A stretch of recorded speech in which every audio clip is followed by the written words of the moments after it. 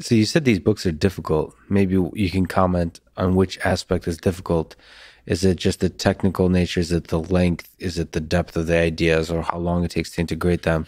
And more sort of importantly, is there recommendation, advice you can give on how to integrate these ideas, how to read, how, how to learn in this space? Is there from your own life? Like, how do you enjoy taking in ideas? And this could be for these books, but also uh, in the Bitcoin world and reading a bunch of different ideas uh, written by others, just integrating stuff, uh, even watching podcasts and all those kinds of things. Yeah, I I'm a reader. I love to read. Um, one of the most useful things I've ever done was take a speed reading course. I actually think there's a version of this available on Tim Ferriss's website. It's like a 30 minute speed reading course. It's all about eye movement. Instead of moving your eye continuously line over line, it's more about jumping and your brain. You can train your brain to just absorb words in their totality versus kind of reading word by mm-hmm. word. And also not, I've, I haven't fully taken that journey actually, but uh, I remember taking a few steps on that journey, realizing that I'm speaking inside my head. Yeah. I'm saying the words inside my head, and that's actually getting in the way. That's right. So there's a lot of little hacks like that. I maybe lazily, I'll have to, now that you mention, I'll have to revisit this. Yeah. But I have convinced myself that I don't need to read faster because that's not ultimately the bottleneck. The bottleneck is in the me thinking about stuff. In fact, I like reading really slowly, or so I convince myself. because I, ultimately, it's not about gaining more information. It's about time spent thinking deeply. Yes. Yes. Um, but maybe that's just me being very lazy because yes it's true it's important to think deeply but maybe i could speed up the the consumption of information well, it's fun it's i i like to be dynamic actually so um usually speed reading initially and that diffused that internal dialogue for me because when i was reading one word at a time i was having that too you almost get a feedback in your own head mm-hmm. you're reading the word out loud and right. clouding your thoughts yeah. if you're speed reading you can't do that yeah. you just you're taking in groups of words at a time so you can't uh, you know, internally verbalize it, I guess. And then I also am really big on annotating, underlining, writing in the margins. Uh, I prefer a physical book, but I also read the Kindle a lot because it's just so convenient. You know, mm-hmm. anywhere you're waiting in line or every night before bed, I'm reading my Kindle. Um, and I also advocate rereading a lot. So if you found something that, you know, struck you at a deep level, you found particularly fascinating, like you have to listen to that. That's your I don't know, your mind or your spirit signal that that is something meaningful to you. And you should, you know, to your point, reread it, sit with it for a long time, write about it. Um, and that, that becomes the ultimate triumvirate of, of synthesizing an idea. Actually, if you can read about it and then write about it and then go and talk about it, you get this crystallization of understanding that's just not possible doing any one of the three or any two of the three. Um, so definitely highly recommend people to do that. Um, and in terms of how are those books difficult? I mean, in every way, they're all long books. Uh, in terms of density, I would say Lila is the less, the least dense. Maybe Maps of Meaning I don't know, but Maps of Meaning and Human Action are both extremely dense. but they're just you I had to read those books very slow. They're, you just have to take your time with them. Um, to, to give you an idea, with Jordan Peterson, he's said this a lot with Maps of Meaning. He spent three hours a day writing for 15 years to write that book. It's probably, I think it's a 600 page book. He said he estimates he rewrote every sentence in the book 50 times, five zero, to try and get it, you know, just perfected. And when you read these sentences, you can tell that he rewrote it 50 times. I've uh, I've used actually Anki for space repetition. Um, it's like a piece of it's an app. I'm not sure if you're familiar with it, but it allows you to load in uh, facts or terms or entire paragraphs, and then it brings them. Uh, you review them every day, mm-hmm. and then it brings them up less and less often over time hmm. as you show yourself being able to remember the thing that uh, you wanted to memorize. And oftentimes when I'm reading, what I want to memorize is the key idea. Uh, but also, like, I use it for I'm terrible with names, so I'm started to use it for names too, of names of people, names of uh, like people that I want to remember. Yeah. And also throughout history and also in my own personal life, but also events. You know, dates to me are usually not important, but sometimes dates are really important. Mm. And so it's really useful. I recommend it highly. Naval, I think, mentioned uh, a piece of software called Readwise or something like that. Mm. That I'm, I hope I'm saying that correctly. It's something like that. And what it does is it goes to your highlights from your Kindle or the various places where you highlight stuff that uh, integrates with um, Goodreads, and it does the same kind of space repetition, but for things you've highlighted. Mm, that's So- super cool. It's it sends an email every day. It's it's been really I recommend it highly because it it sends like to me in email form a selection of the things I've highlighted and previous things I've read. And it's like this weird like shock shock to your memory Yeah. of that sprinkles like I'll, I'll have a I have way, probably way too much Orwell in there, and it just kind of like it brings you back and these ideas that are because what you realize depending on how you highlight, but at least for me, and I think it's probably true for a lot of people, the things you've highlighted had at that moment and like an emotional impact on you. Mhm. Yeah. And so like these things are just like hitting you hard again. Yeah. It's like whoa. Uh, it might not be meaningful to anyone else except you, and it, it's uh, it's something I recommend. You never know with these like hacks or tools and so on, like what's actually BS and what what is amazing, and that one is kind of amazing. So, at least for me, it work it works for me and Naval. I think I think he's the one. me. Readwise, you said. Readwise, Yeah, I'll def- or something close to that. Yeah. It could be read something else, like Yeah. read wealth or something. Uh, the one other thing I, I really like, and this is more of a new one, is I used to always listen to music at the gym, Mhm. but now I've just because I'm so backlogged on podcasts, right? They're just Mhm. there's so many. I exclusively listen to podcasts when I'm walking or when I'm at the gym. Anytime I'm doing something that I can't, you know, read, basically. And I think there's something really special about exercise and ideation. I Yeah. mean, I I don't know if this happens to everyone, but my creative juices just go ballistic when I'm at the gym. Like I hit a certain point of, I guess, heart rate, and you're sweating enough, then it, the ideas just start to flow. Yeah. So I'm basically at the gym now, listening to podcasts, exercising as fast as I can to try to get to that state of, um, you know, where you're just straining, your strenuous exercise, I guess you would say, and then I'm end up typing notes into my phone as fast as I can with all these ideas that are flowing. So I've I've created a lot of good writing out of that. Yeah, it's it's kind of work. So I I do running uh, quite a bit. So running outside, and uh, I'll listen to. I've been okay. I told myself this has been going on for about a year.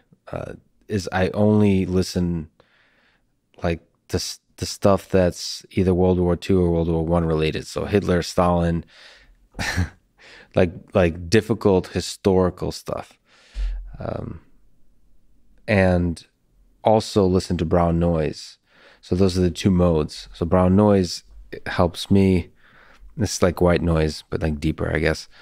It helps me remove the world. I, at the gym, there's a lot of distractions. Mm. When you're running, there's a lot of distractions. It helps me remove the world. So one, I'll be listening to difficult historical ideas, and then when my mind is all of a sudden starting to generate ideas, mm-hmm. I'll listen to brown noise and I'll then force myself to think. It's kind of it's meditative in a sense, and your mind wants to be lazy. You want to you it's hard, man, for like running and thinking in the sense that some of the ideas that come into your head are pretty heavy. Uh, it's about your own life. It's uh, your own demons come in there Yeah. but also just difficult ideas that require you thinking through and persevering through that, like not letting yourself get lazy and like thinking through it has, has been really for me rewarding in the same way that you're you're saying is it is for you. It's true that like podcasts and music, like um shallow, like funny podcasts or music have been a kind of filler distraction. Hmm. But informational podcasts, like podcasts that have some depths of ideas or audiobooks have been uh, truly rewarding. I try to listen now less and less to podcasts that are just fun.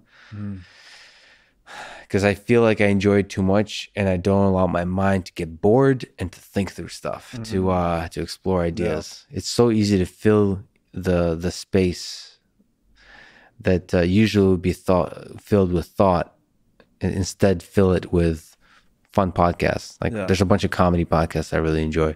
So there's value to that of course, but you have to realize it's entertainment. It's not uh, yeah. Uh, it's it's not um you don't get much value except entertainment. Right, right. And there's utility to the boredom too, I think, oh, yeah. where to give your mind the space, I guess your subconscious maybe the space to chew on some of these problems, right? Yeah. Where you've imbibed so much knowledge, you know, you've highlighted and thought about something, but then you need to stop thinking about it for a while and let it marinate in the subconscious.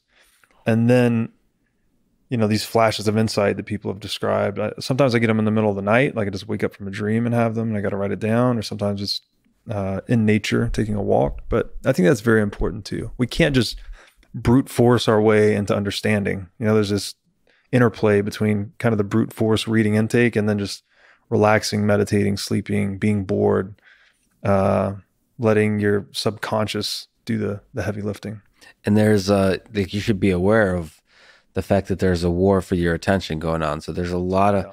uh, there's been better and better and better mechanisms that are designed to steal your attention.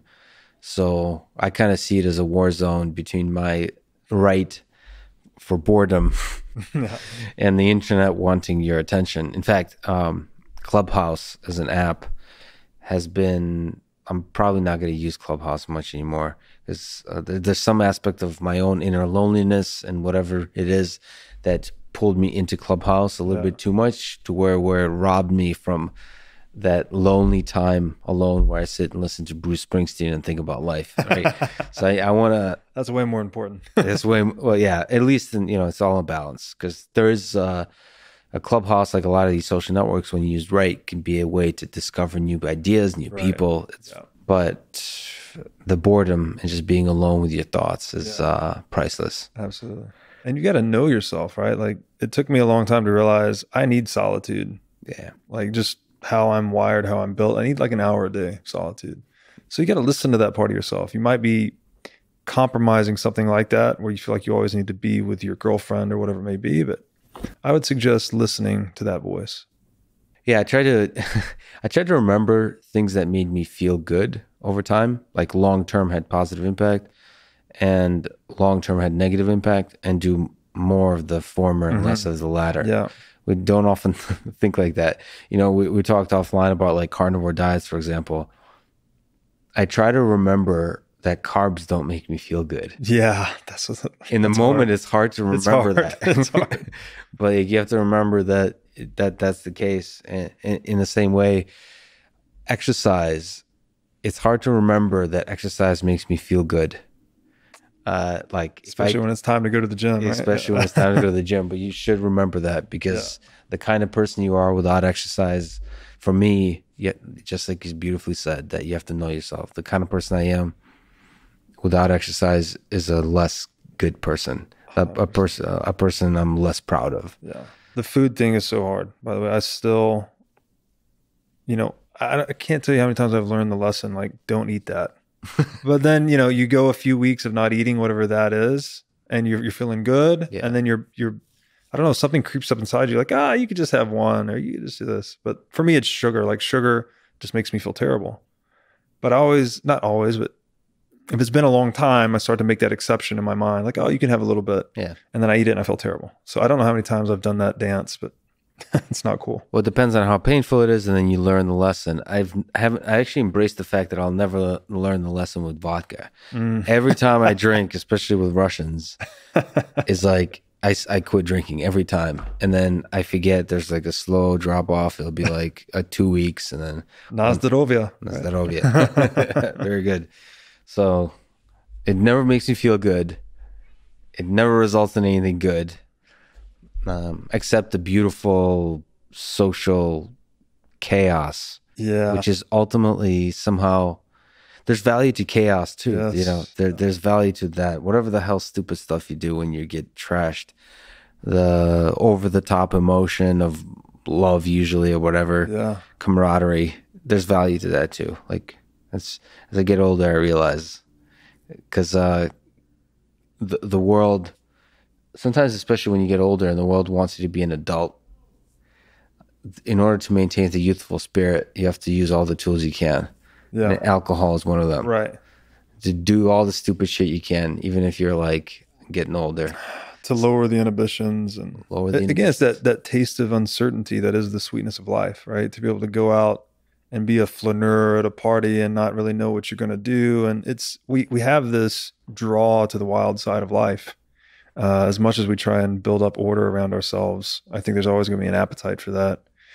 Um, I've always, most of my life, I've always been a social drinker, but I actually gave up alcohol a year ago, and um, I would add that to the the idea, uh, the, the repertoire for dealing with bigger ideas because alcohol is fun. It's amazing, you know, good times.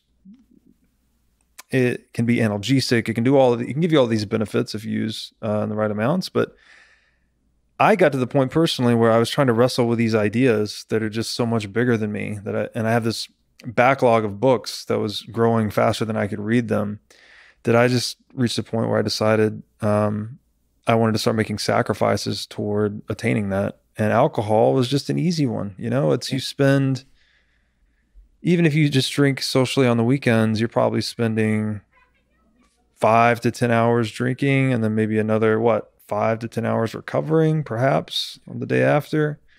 Um, so it, it was a difficult transition initially, but once you get through a couple of months, I feel amazing without it. I sleep better than ever. My workouts are better than ever. I'm sharper than ever. I'm more lucid. So I'm, I'm not trying to be a proponent for like not drinking, but I just want But to you're say a proponent for sacrifice. In some, I am a big proponent dimension. for sacrifice. Yes.